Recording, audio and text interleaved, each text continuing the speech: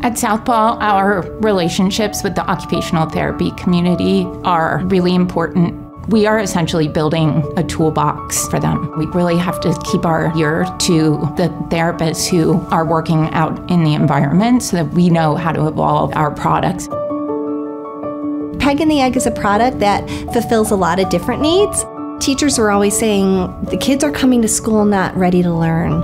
I need something to help them learn how to use their hands. They need to cut, they need to write, they need to learn how to manage their materials, but they don't have the fine motor skills and the ready to learn behaviors to do those things. Peg in the Egg is the outcome of me bringing in a basket of plastic eggs with therapy putty and a small golf tee like peg into a classroom and having the kids overjoyed with wanting to participate.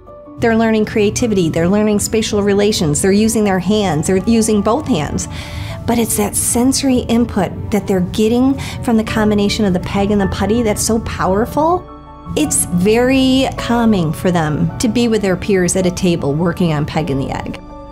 The association of Peg in the Egg with Southpaw is a perfect fit. Southpaw is looking for ideas for products that will move our clients forward, that will move the industry standard forward, and really represent the best products for sensory integration. My son Joshua is on the severe end of the autism spectrum. He's nonverbal, he has a lot of maladaptive behaviors. He's a sensory seeker. He craves deep touch pressure.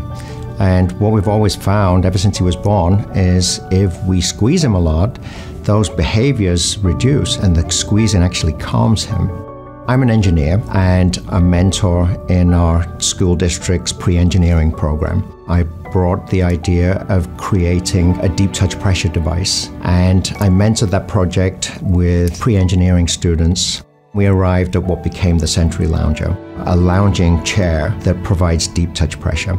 It consists of two air chambers, which are inflated by a very quiet pumping system, and it conforms to their body. It's like getting a really, really big hug. Joshua uses the Sensory Lounger every day. He's self regulating on that. If he starts to feel out of sorts, then he will just get into the Sensory Lounger and stay there for about 20 minutes. It really calms him down.